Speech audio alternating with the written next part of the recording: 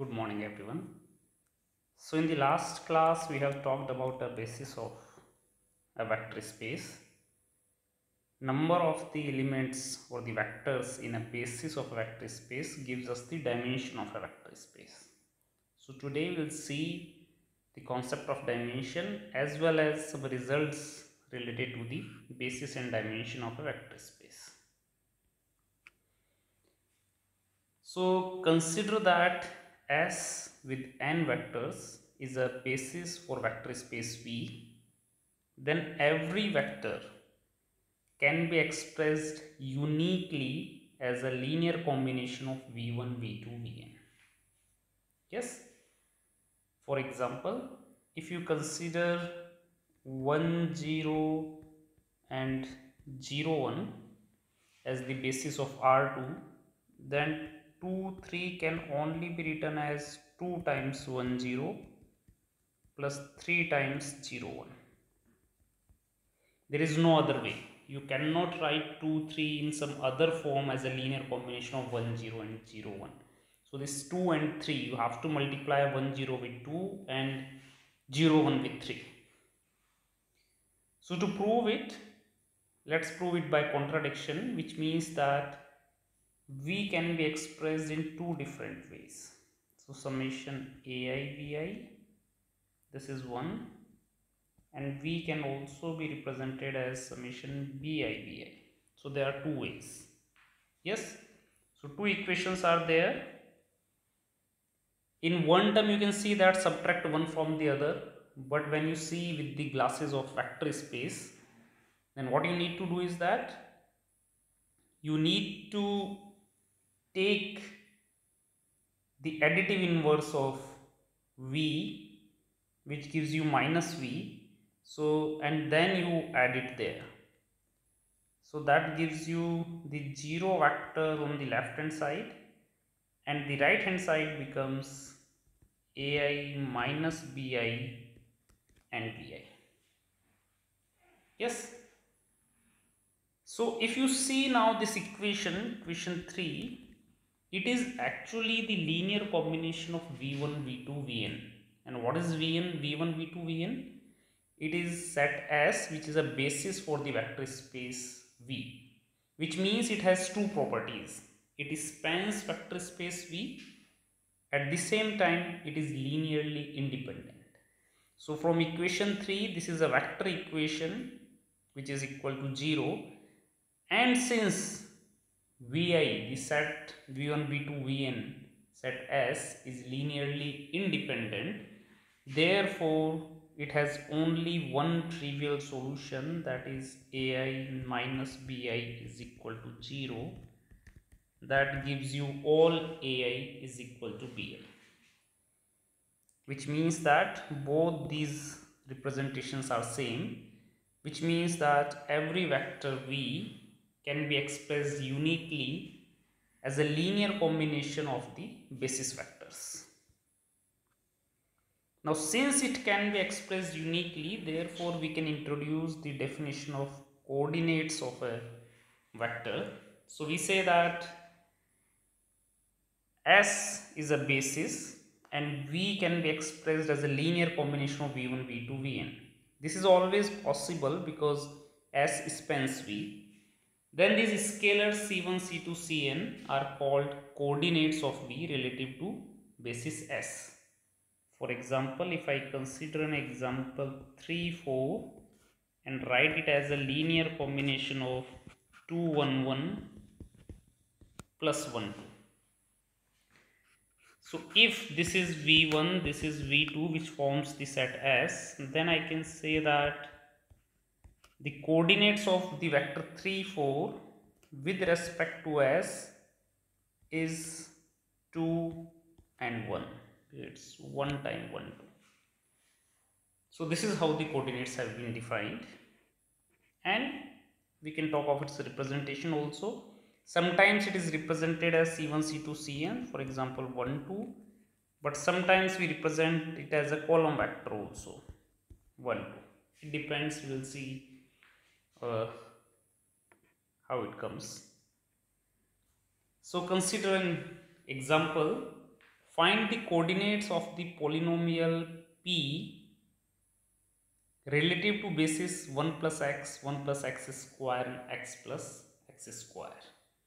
S is a basis for p2 because you can see that the set is linearly independent and it is easy to verify that it spans p2 i am not going into that detail but we need to find the coordinate which means that we should express as a linear combination of 1 plus x 1 plus x square and c times x plus x square. If you simplify it then you get a plus b plus a plus c x plus b plus c x square. If you compare the coefficient then you will get three equations a plus b is equal to 3 a plus c is equal to minus 1 and b plus c is equal to minus 2. Now you know how to solve a non-homogeneous system of equation. So if you solve it you will get a is equal to 2 b is equal to 1 and c is equal to minus 3 which means the coordinates of the vector 3 minus x minus 2x square with respect to set S is 2 1 minus 3 this is one exercise which you can try by yourself just for a practice so let's talk of a very interesting theorem. It says that S be a basis for vector space V and U1, U2, UK are any vectors in V. Then U1, U2, UK is linearly independent if and only if their coordinates are linearly independent. So if you read the theorem, you may find it a little bit difficult it's a very easy theorem. What it is saying it is saying that let us consider the same basis we have seen in the previous. Okay. And what are its coordinates? If I have to write its coordinates then actually uh, the polynomial is a plus bx plus cx square so if I write the polynomial a plus bx plus cx square, the coordinates are a, b and c. So coordinates of 1 plus x are 1, 1, 0. Coordinates of x plus x square are 0, 1, 1 and similarly 1, 0. Okay. Now what we are claiming that proving these three vectors are Li is equivalent to prove that these coordinate vectors are Li. If I have to prove it Li, then I should consider A times 1 plus x plus B times x plus x square plus C times 1 plus x square is equal to 0 which gives you a plus c is equal to 0 then b plus c is equal to 0 c plus a is equal to 0 if I have to solve the system of equation because they are linearly independent if a is equal to 0 b is equal to 0 and c is equal to 0 yes? So if i write it as 1 0 1 0 1 1 sorry this is a plus b. And therefore this is 0 and the middle one is 1 110 011 101 okay. So and now I solve this homogeneous system of equation. But you can see that this augmented matrix which I am getting from here is same which I am getting from here. Because now I can directly write 110 as first row 011 as second row 101 as third row which means that instead of doing all of this if I have to check that these three polynomials are linearly independent I write first polynomial its coordinate as first row then second row then third row and so on. Solve the system and then I can say that if these three rows are li because if you solve it you will get a is equal to b is equal to c is equal to 0 because you are solving the system which means the vectors 1 plus x, x plus x square and 1 plus x square are li. So this is simple observation. Now the main definition. So a vector space that can be spanned by finitely many vectors. So if vector space V is equal to span S where S is finite then we say it is finite dimensional otherwise we say it is infinite dimensional. For example Rn, Pn, M the set of the matrices of order Mn are finite dimensional provided n and m are finite. At the same time if I write p infinity which means a polynomial of infinite degree 1 plus x plus x square plus x cube and so on then it is infinite dimensional. So in this course and mainly everywhere we are only interested in finite dimensional vector space. So let V be a finite dimensional vector space and S be its basis. So if any subset of V has more than n vectors then it is LD. This we have already discussed. Actually S is a basis therefore it is Li. So the same example if you recall it R2 I know that its basis has two vectors 1 0 0 1. If I consider any set 1 0 0 1 and 2 3 for sure it is going to be LD because it will give you the equations and there would be at least one free variable. Yeah so this is this uh, part we have already discussed in the last class. So there are more unknowns than equation and minus r free variables. And therefore when you check the li you will get non-trivial solution and therefore it is LD if a subset has less than n vectors, then it does not span V. This is very interesting. Let us consider R cube.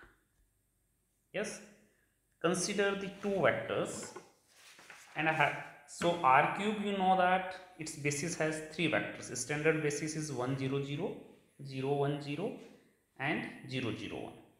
So consider two vectors one is 1 1 1 the other is 1 2 3 the claim is these two vectors. So if you consider only one vector they cannot span r cube. Why not? Let's say they can span. It means that x y z any vector in r cube can be expressed as a linear combination of 1 2 3 now if we get the values of a and b, it means these two vectors span R cube. But if the system has no solution, it means it cannot span. So let's write down. So this gives me a plus b as first vector, a plus 2b and a plus 3b. That gives you a plus b is equal to x a plus 2b is equal to y and a plus 3b is equal to z. If you write augmented matrix then you will get 1 1 x 1 2 y 1 3 z. Yes?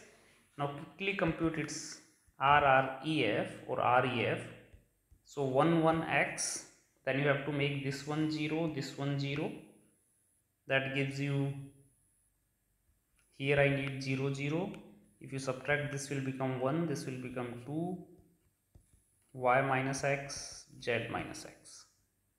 Yes one more step is required. So the first remains 1 1 x. The second 0 1 y minus x. And the last one what do you do? You have to make this entry to be 1 or g. Below this entry this should be 0 so if you make this one 0 then this becomes 0 0 z plus x minus 2y so if you see the last row 0 0 z plus x minus 2y rank A is 2 because two pivot entries are there but rank AB because x, y, z are real numbers so rank AB is equal to 3 for any values of x, y, z which means the system has no solution. Since the system has no solution these two vectors cannot span R cube.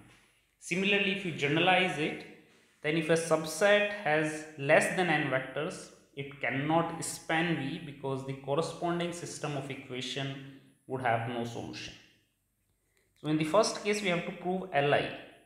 So the system which you produce will have non-trivial solution we need trivial solution therefore LD.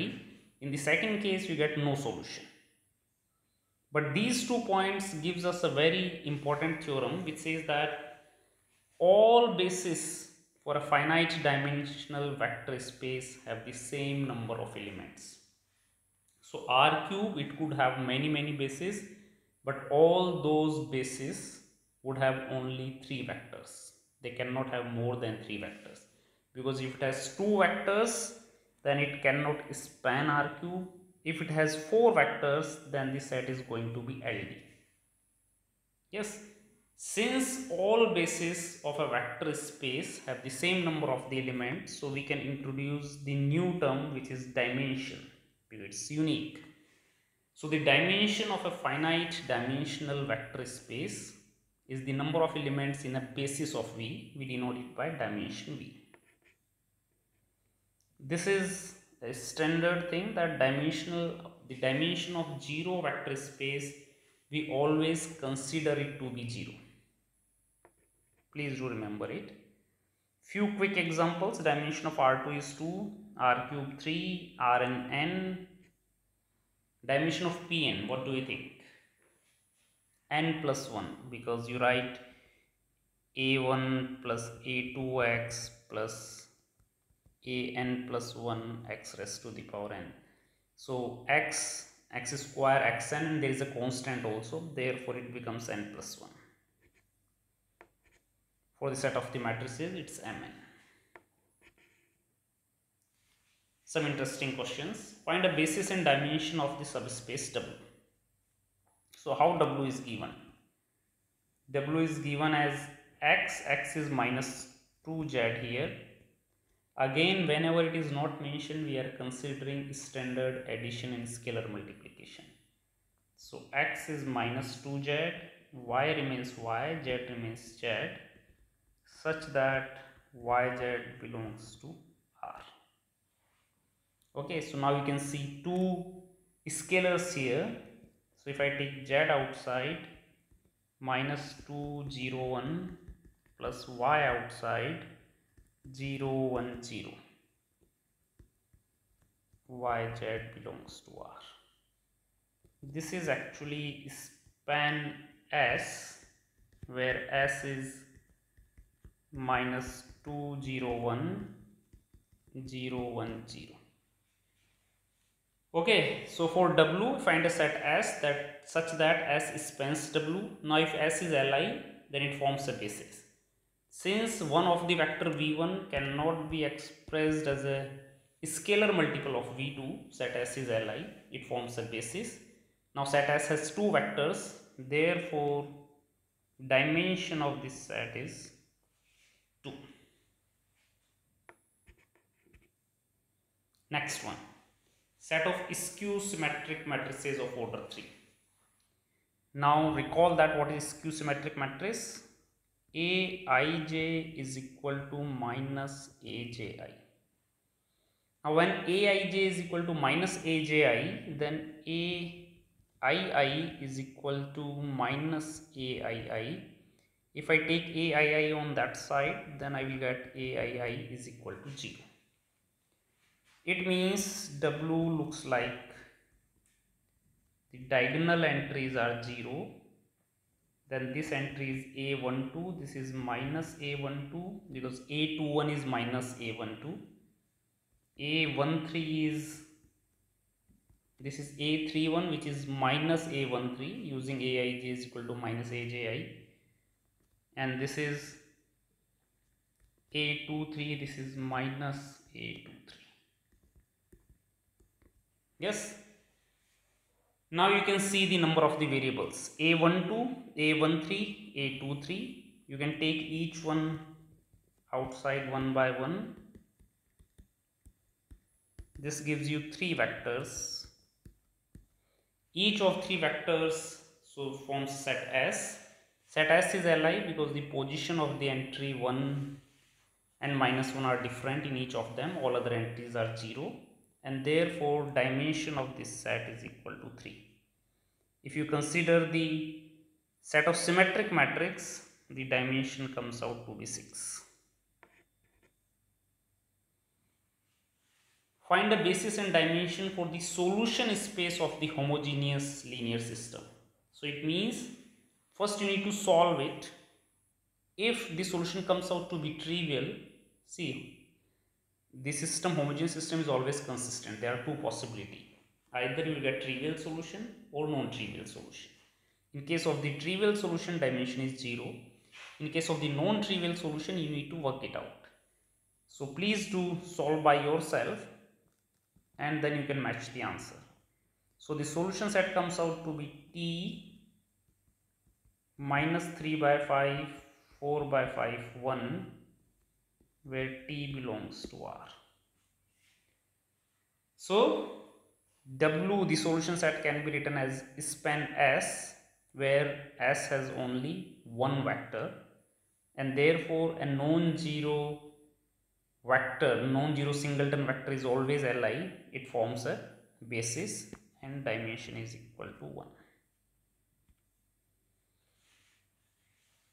consider a matrix a find the values of x such that the set n must be one dimensional okay so there is a restriction on x.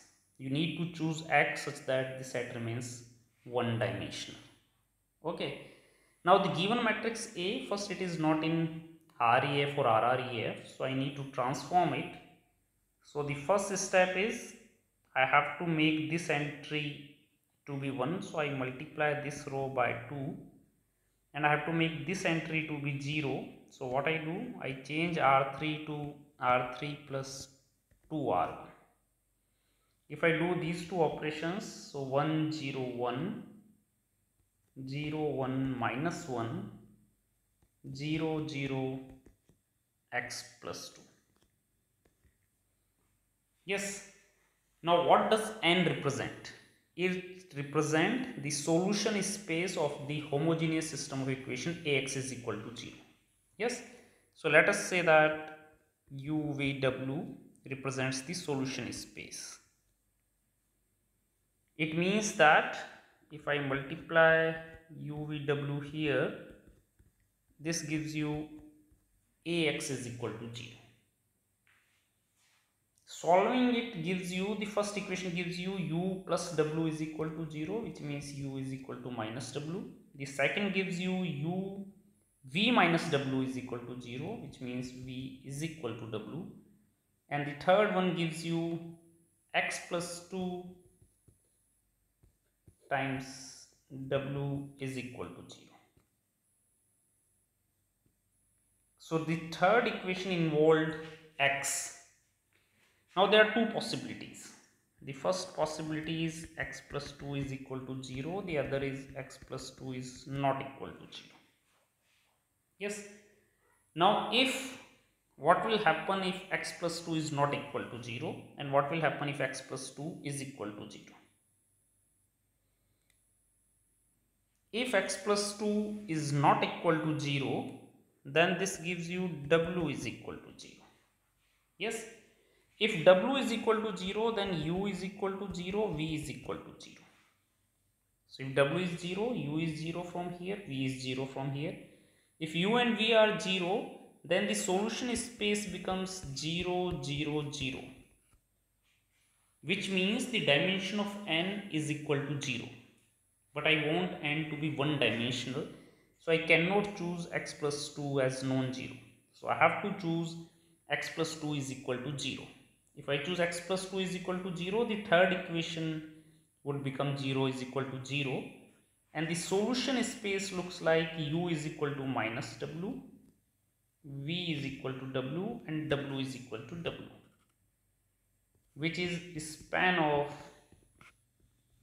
minus 1 1 and 1 yes it's a singleton set singleton non-zero set which means it is li which means the dimension of n is 1 it means that if I choose x is equal to minus 2 so I have to find the value of x. So if I choose x is equal to minus 2 then I can say that the set is one dimensional subspace of R cube.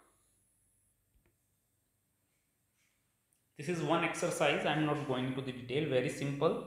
It is given A is singular so based on A is singular see the relation between x y z substitute here compute the dimension. So in the next class we will see more interesting result related to the basis and dimension. In particular as I told you we have seen the examples where if w is equal to span s and s is li we are done but what will happen if s is not li we are going to see many more interesting results in the next class. Thank you very much for watching the video